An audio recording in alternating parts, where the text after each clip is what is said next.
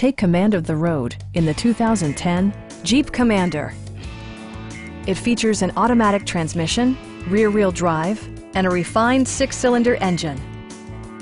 It's equipped with tons of terrific amenities, but it won't break your budget.